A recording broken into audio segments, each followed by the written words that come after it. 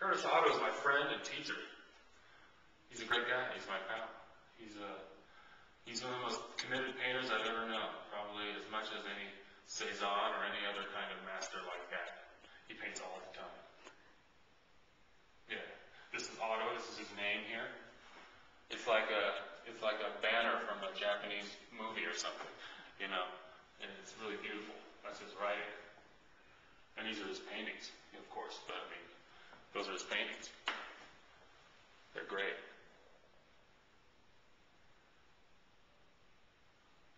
What do you love about them? I just love how uh, how expressive they are, how sensual they are, and like really uh, colorful they are. He taught me a lot about collage and I mean, about composition and color, placement of things.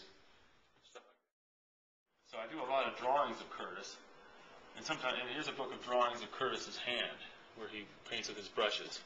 It's a little bit Philip Gustony kind of, you know, with his kind of big hands and brushes and stuff like that. So he came out looking a little bit car- cartoony, big paw kind of look.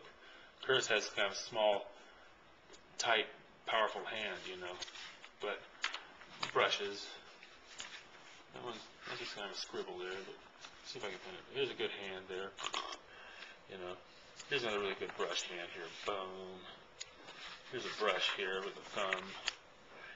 They're just real quick. I, I paint while he's drawing, and he's. you know, I mean, I draw while he's painting, and so he's like working real fast, and he just moves his brushes from hand to hand. But sometimes I get a good big heavy brush right there. Here he is working on a circular painting.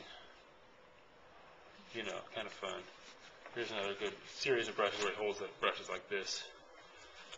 Here's some. Here's one of his still lifes. There's a couple of like melons, you know, and uh, is kind of an abstracty kind of thing. Here are a couple of here are a couple of uh, pears, pear and an apple.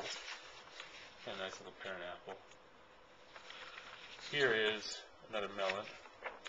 Here's a little drawing of Curtis looking at a pear.